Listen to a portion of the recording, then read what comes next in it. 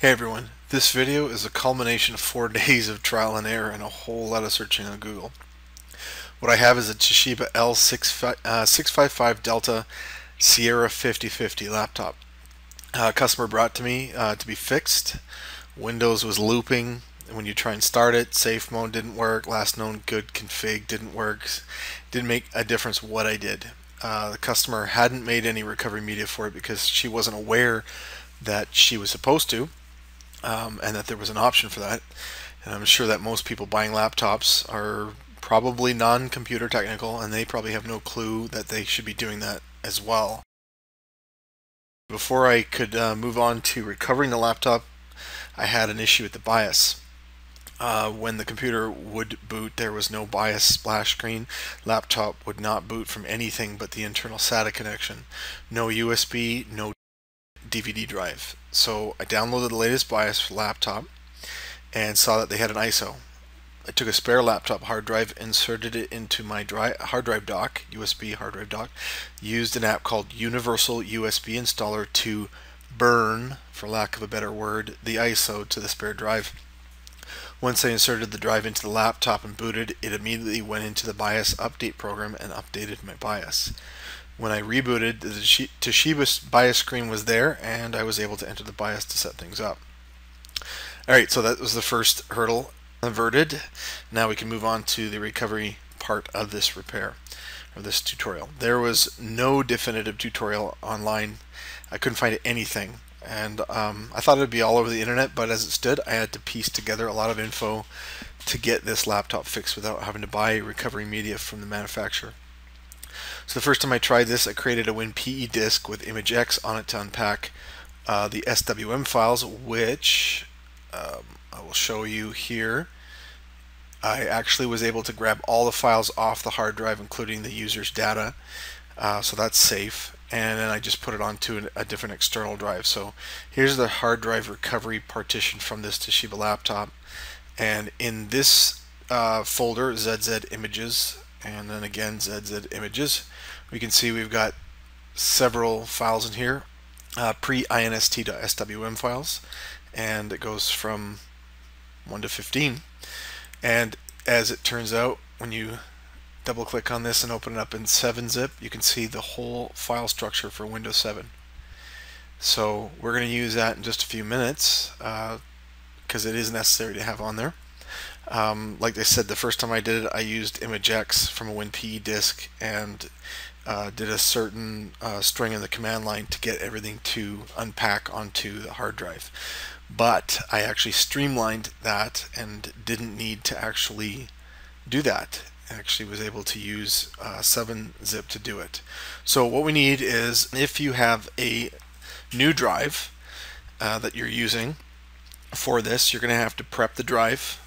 If you're uh, original drive is still fine, you're just having problems with Windows and you can't get back into it, no recovery media, then uh, you won't have to do the prepping, but you'll want to wipe out your uh, Windows 7 partition like we're going to do here. So on this drive, I actually created the exact structure that was on the original drive, a 1.5 gigabyte uh, partition that's 1536 megabytes and then what I did was to calculate how much this was going to be, um, I just found out how much that uh, partition, the full partition was, or yeah, based on the uh, amount that we needed here for the hard drive recovery was 10 gigs. So um, in actuality, uh, if I go back here into the plan folder, in this one here, this INI uh, actually shows us the exact size that the hard drive recovery partition from the original drive is. So we're able to take the amount from this, if you go to properties, and we go to, oh, it's not doing it here, it's, go to properties for the disk. Oh, there we go. 147,616 is what was on there. So it's going to be those two combined. That's all you have to do is find out how much the main, the, the bulk of the rest of the drive that hasn't been partitioned yet is, and just minus off 10,313 uh, megabytes. So with my drive here, you can see that um, I'm using a 160 gig drive as a test. Um, the first time I did this, I used a 250, and it worked. It worked well. Um, the way I did it with ImageX, um, but this partition didn't. It didn't want to boot Windows. So I had to make the hard drive recovery partition active and bootable. And when I did boot from it, it went through and it actually started up the hard drive recovery uh, process perfectly and everything went through. But this uh, video is going to be showing a streamlined version not using ImageX so you won't have to actually go and figure out how to create a WinPE disk with ImageX on it because that will take some time and a download of a 1.7 gig file from Windows or from Microsoft I should say. So um, I've already have I already have all the the uh, files and everything laid out on here but uh, what you'll do is once everything is set and you've got it formatted properly um, we will go over to our SWM uh, folder location. You can drop that down. We'll go over to my computer and it'll show that we have uh, it's not showing up properly here. Let's go ahead and just recycle this.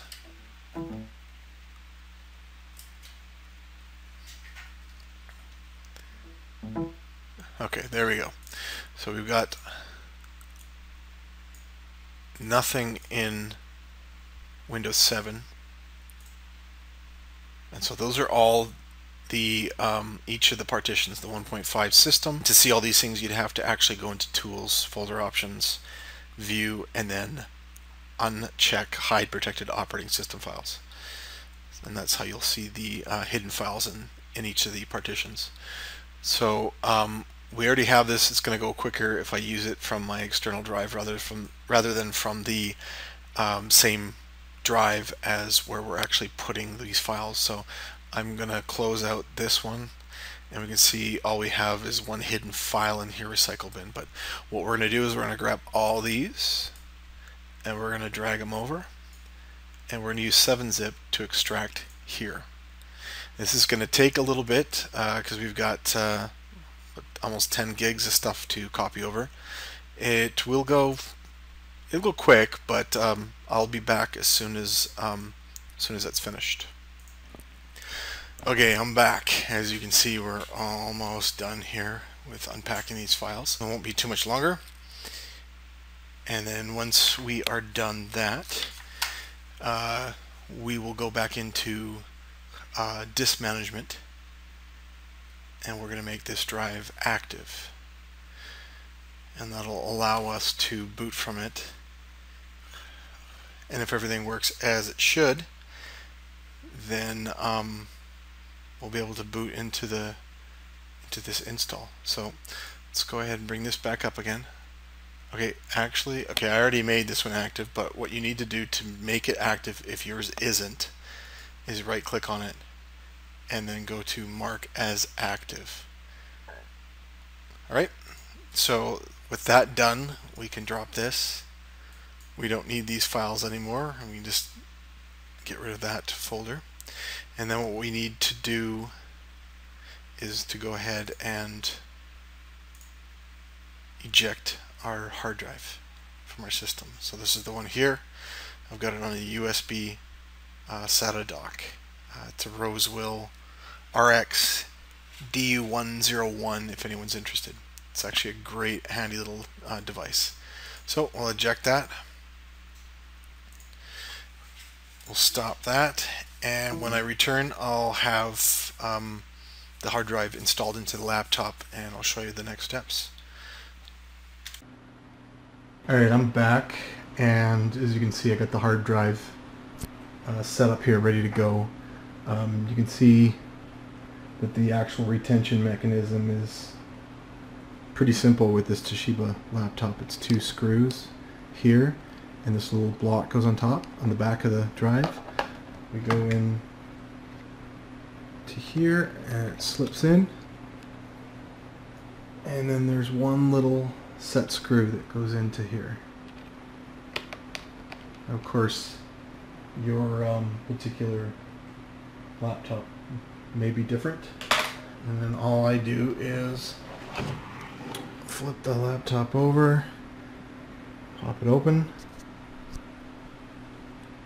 and start it up. And if everything works as it should, we should uh, boot straight into Windows install. So I just wanted to show you guys uh, the next step that happened here. Uh, it's going straight into the recovery, which is pretty cool. When there's uh, more stuff to show, I will pop back up again. So we can see our next significant step here is it's actually going to a sysprep uh, tool. Uh, flashed pretty quick. But um, as you can see, we're back to configuring the system again. So it went uh, through a boot after it went um, and installed the uh, office stuff and, um, it came back up again and as you can see that there was that sysprep uh, box there. But this is exactly what happened the first time I, I uh, did the uh, recovery the other way with the um, uh, Windows PE disk and the Image X. But uh, as you can see, this is going to be a lot quicker because if you actually did Google on how to um, create the Windows PE disk, it uh, it'll take some time to download the um, Windows uh, AIK, which is 1.7 gigabytes. then you have to install and then you got to go and find a tutorial if you're not certain how to actually create the uh, PE disk. And uh, I mean it's not difficult it's just time consuming that's all. So as you can see we're on the next step. Again when there is more to report I will be back. Alright everyone I am back and as you can see I have made it to this screen here. So everything has been put back on. Let's see if I can get that to focus better. So I'm going to go ahead and click next on that.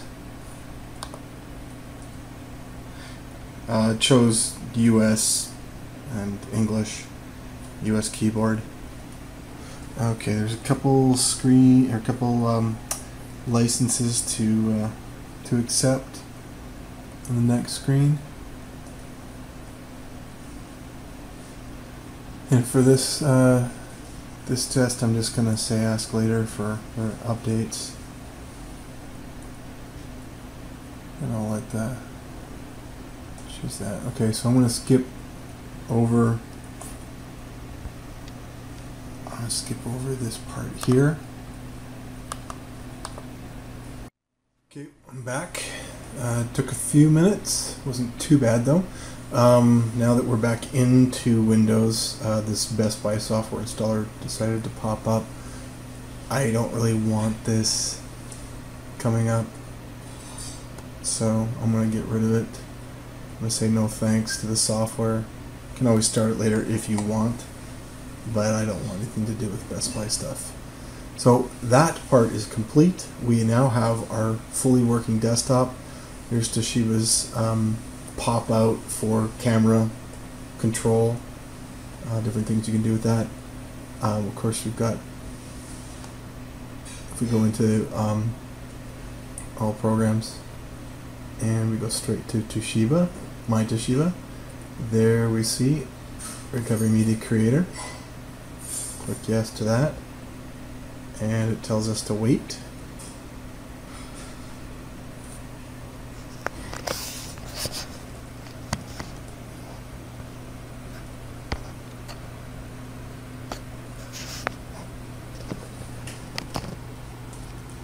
And there we go. We can now create recovery media straight from our freshly recovered um, hard drive with just the hard drive partition and the or the um, recovery partition on the hard drive. And I have taken the liberty to create the disks already. Uh, it takes five disks to do it. Um, I've already tested them out and they work. Everything's been everything's worked good on them. Um, so I really hope this uh, can get some of you guys out of a jam if if uh, you're having issues with your laptop and uh, you have no recovery media to uh, help you out with. It appears that the recovery uh, partition is all that we really need to do that. So, um, in the near future, I'm going to actually do a tutorial on how to recover this laptop here. It's a an HP G62. It's got pretty much the same specs as this Toshiba laptop does, um, but it looks like the um, the procedure is going to be a little different. So, but it shouldn't be too far off this one here. So uh, stay tuned for that one. And again, I hope this helps you guys. So uh, take care and good luck.